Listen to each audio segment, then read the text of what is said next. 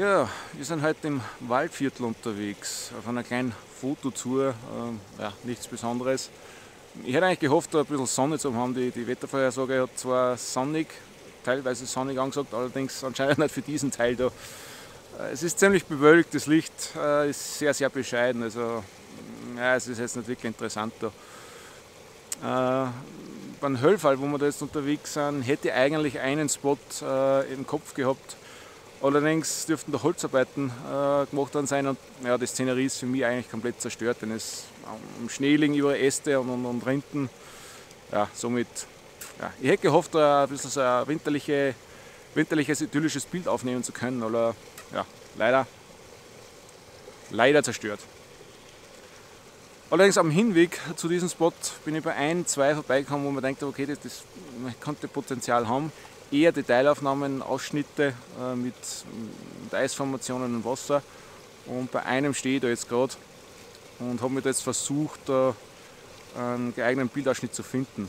Äh, es ist nichts Besonderes, der Bildausschnitt war eigentlich relativ schnell gefunden. Ein paar Feineinstellungen waren notwendig, um einen Felsen auszublenden und ein paar andere Sachen aus dem Bild zu halten. Aber im Großen und Ganzen es ist jetzt nicht wirklich kompliziert. Und es erinnert mich irgendwie an einen Canyon, also das, wo, wo, das Wasser durch einen Canyon fließt. Und ja, ich zeige euch das einmal am, am Display, was ich da meine und wie das ausschaut. Ich hoffe, ich wage jetzt nicht zu viel, denn ich halte jetzt die, die Videokamera da in der Hand. Äh, was ich zwar vorhin gemeint habe, mit, es schaut aus wie ein Canyon. Es ist wie das Wasser, wie wenn es sich da durch einen Canyon durchschlängeln würde und das Eis auf der Seite mehr oder weniger die, ja, die Felswände da repräsentieren. Äh, mir hat einfach gefallen, diese, diese äh, ja, Eisformationen da am Rand, äh, die schauen sehr interessant aus. Und eben wie sich das Wasser da, da, da links ins Bild arbeitet und dann da, da am oberen Bildrand wieder hinaus. Es ist jetzt nicht wirklich irgendwas Spektakuläres, es hat mir einfach gefallen und ich habe ein bisschen herumprobiert.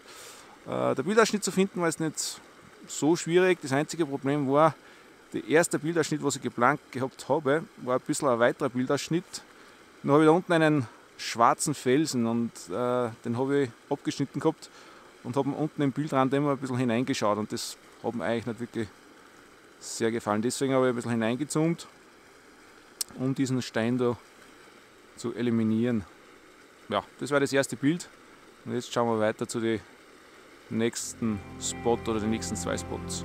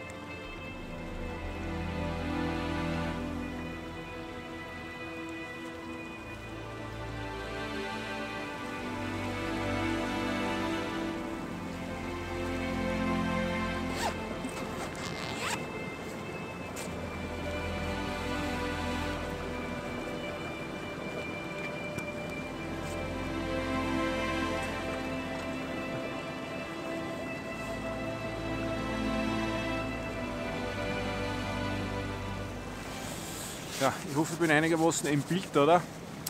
Äh, ja, ich bin jetzt bei einem äh, zweiten Spot, äh, was ich mir gedacht habe, dass der ganz interessant sein könnte. Und ja, durchaus, er, er bietet einige Möglichkeiten jetzt für, für äh, Bilder. Und zwar, ja, ich habe mal zwei, drei äh, Bildausschnitte schon mal entdeckt. was ganz interessant sein könnten. Ähm, ja, wieder die, die, die große Landschaft ist heute da beim Höllfall jetzt nicht wirklich, äh, ja, für mich zumindest nicht interessant, denn ja, da fehlt mir doch ein, bisschen was und zwar ja, dass die Winterlandschaft einfach idyllisch ausschaut und das bisschen etwas, das, das fehlt heute halt ein bisschen. Ja, ich schätze, wenn die Bäume eigentlich mehr Schnee hätten, dann äh, würde das Ganze ein bisschen idyllischer wirken und wäre interessant, um, um eine großartige äh, Winterlandschaft äh, aufzunehmen mit, ja, mit einem Weitwinkel. Äh, aber so äh, konzentriere ich mich eigentlich eher auf die äh, kleinen Details und wie gesagt, ich habe da jetzt zwei, drei Bildausschnitte, wo ich mir gedacht habe, da, da könnte was draus werden. Der erste Bildausschnitt ist wieder, wo sich der Fluss durch das Eis da durchschlängelt und am Rand wieder wundervolle also Eisformationen vorhanden sind. Es ist nicht ganz leicht, da jetzt erst einmal das Stativ da aufzustellen, denn die ganzen Felsen sind mit dicken Eis bedeckt und ja, überall rutscht und, und wackelt das äh, Stativ. Wird nicht ganz einfach sein.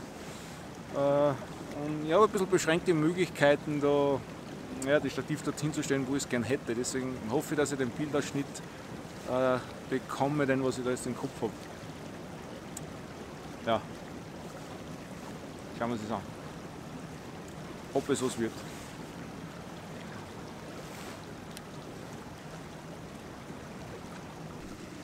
So, ich probiere das jetzt einmal äh, zu erklären, was ich da äh, versuche da, da festzuhalten. Und zwar, mir gefällt da, also das ist eigentlich da mein, wenn man so will, mein Hauptmotiv oder meine Hauptaufmerksamkeit. Und ich will eigentlich, das eigentlich so anlegen, dass er im linken oberen Bildteil äh, der Fluss anfängt und sich durch, durch, quer durch das Bild da schlängelt. Es gibt allerdings jetzt ein paar Probleme, äh, dass ich das Bild nicht ja, so in Szene setzen kann, wie ich gerne möchte. Äh, das erste Problem ist dieser äh, Felsen da. Wenn ich weiter rauszoome, dass ich da mehr von diesem Teil drauf habe, habe ich auch diesen schwarzen Teil drauf und den möchte ich eigentlich vermeiden. Wenn ich auch weiter rauszoome, habe ich hinten im Hintergrund die ganzen Fußspuren, wo ja, wahrscheinlich ja, vermute mal ein anderer Fotograf unterwegs war. Das heißt, diesen Teil möchte ich eigentlich auch nicht im Bild haben. Und mit diesem und mit diesem Teil, wenn ich diesen Bild schneide, äh, bleibt mir nur ein sehr enger Bildausschnitt über, wo, ich, äh, wo mir der Fluss da am rechten Bildrand einfach abgeschnitten wird. Ja, mal schauen, wie es im Display. Ja, ich bin ein bisschen in Zweifel, ob das Bild dann so wirkt, wie ich das im Kopf habe. Denn wie gesagt, ich, ich schneide das Bild eigentlich da irgendwo ab und habe äh, so ein weißes Schneefeld, was mitten im Bild eigentlich aufhört. Und äh, ich bin eigentlich immer, äh, ich versuche eigentlich immer irgendwo einen Rahmen oder einen Abschluss zu finden, dass das nicht irgendwo mitten im Bild aufhört. Und das war da jetzt leider nicht ganz möglich. Wie gesagt, mir, mir gefällt irrsinnig gut, da, wie sich das Wasser da wieder durchschlängelt und sich da quer durchs Bild äh, arbeitet. Allerdings sind halt ein paar Randkomponenten, die was mir da nicht ganz äh, gefallen. Aber ja, mal schauen, wie es dann zu Hause am, am großen Bildschirm ausschaut und ja, vielleicht kann man irgendwas draus machen. Ich habe jetzt im 3 zu 2 Format aufgenommen, vielleicht, ja, dass man äh, später noch das Bild vielleicht croppt, vielleicht sogar im, im, im 1 zu 1 Format. Äh, ja, mal schauen. Äh, was ich auch vorgenommen habe, ich habe den Polfilter nicht ganz aktiviert.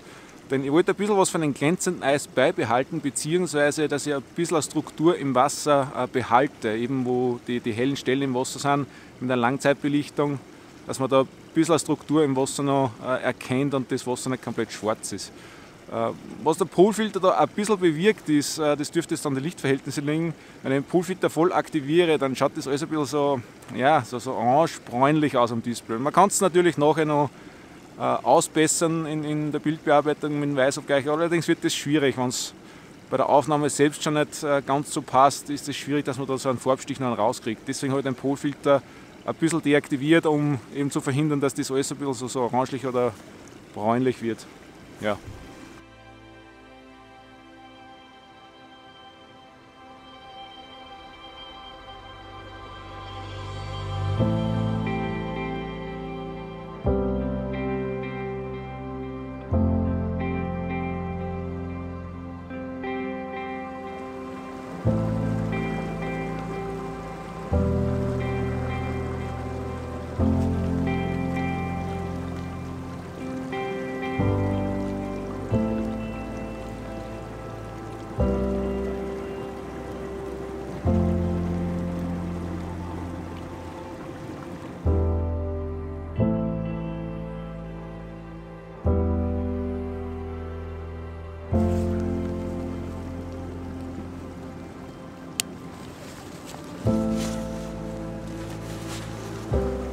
Wir werden uns jetzt einen Weg wieder zurück zum Bus machen.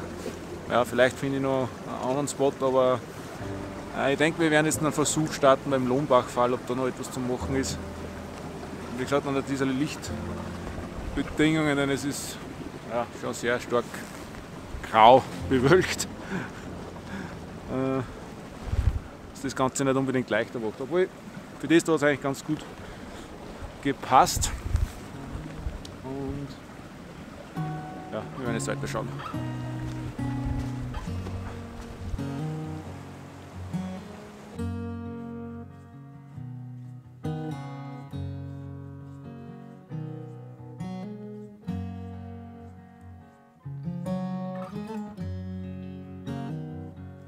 If I'm lost along the way,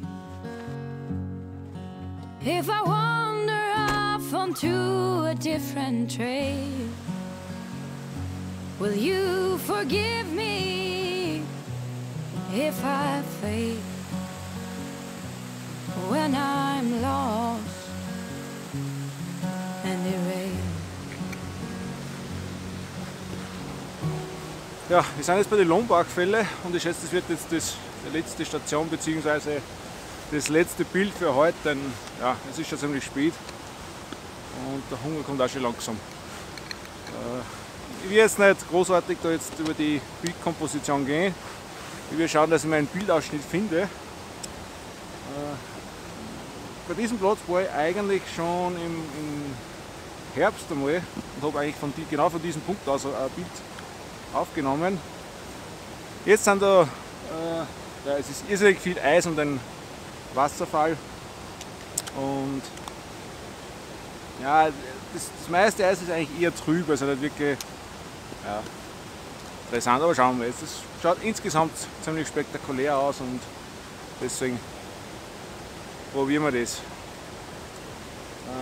das einzige Problem ist, äh, es ist auf die Felsen alles ziemlich eisig. Jetzt weiß ich nicht, ja, wo ich das Stativ da so stabil aufstellen kann, wie ich das gern möchte, aber ja, wir werden es probieren. Das letzte Bild des Tages.